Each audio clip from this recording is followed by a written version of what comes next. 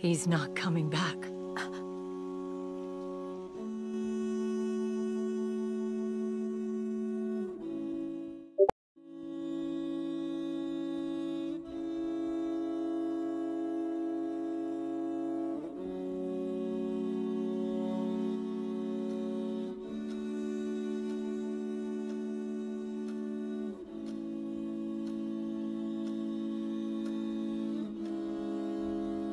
Are you guys doing here?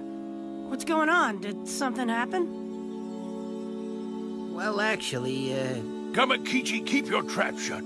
Let the boss and Tsunade handle it. They know what they're doing.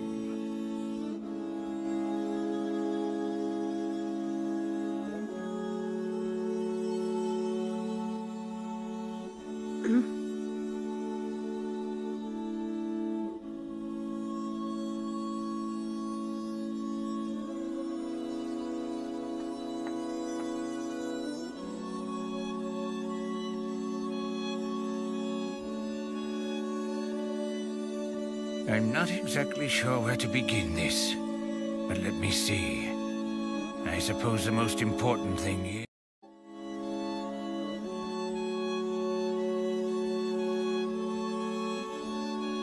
I'm afraid Jiraiya boy has died in battle. Huh? What are you talking about?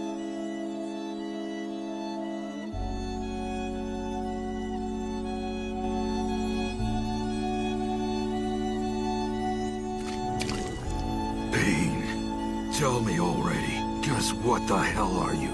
Even if you knew, even if I told you, you'd lose. Lad, just give up already! I must find a way to defeat them, even if I die.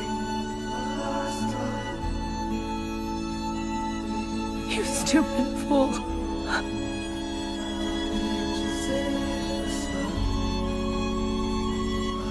You let him go. Is that right, Granny? Why would you ever let him do something so risky?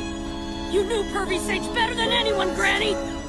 How can you send him somewhere so dangerous alone? Stop it, Naruto.